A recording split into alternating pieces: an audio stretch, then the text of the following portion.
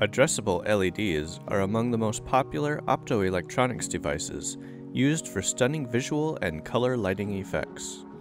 As an example, RGB NeoPixels by Adafruit Industries use SIPO, or serial in, parallel out, and shift registers and a controller to manipulate three individual LEDs within the device and multiple devices in a NeoPixel array.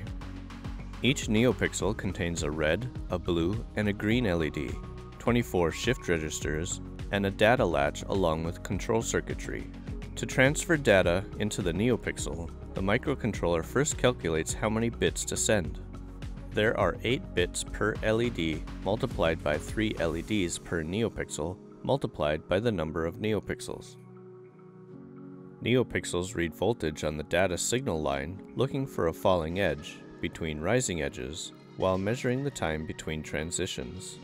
If the time between the last rising edge and the falling edge is greater than the time to the next rising edge, the result is a logic high, or 1.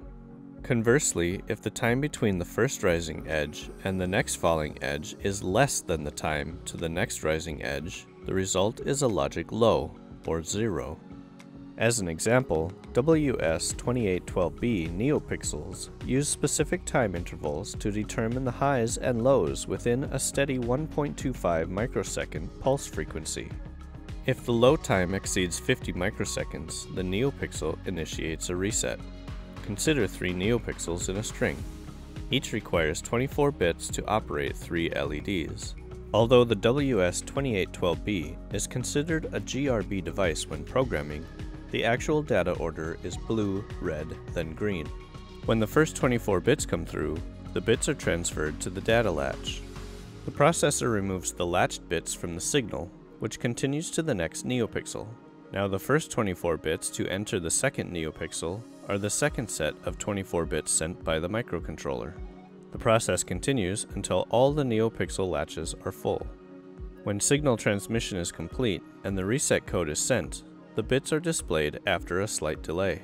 Sending another 72 bits of all zeros along with a reset turns all the LEDs off.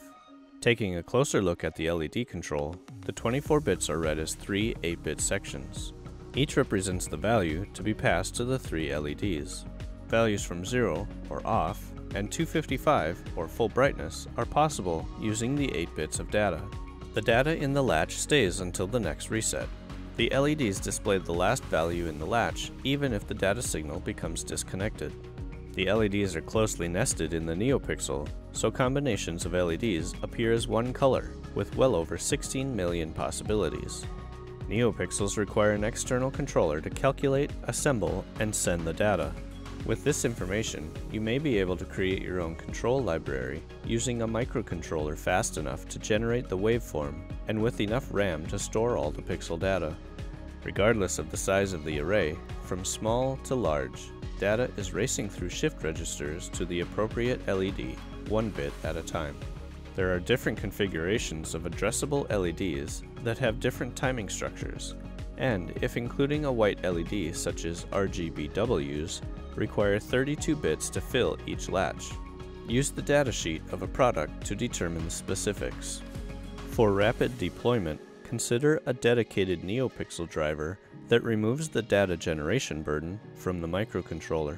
DigiKey Electronics carries development boards like the Adafruit FadeCandy that can do the heavy lifting.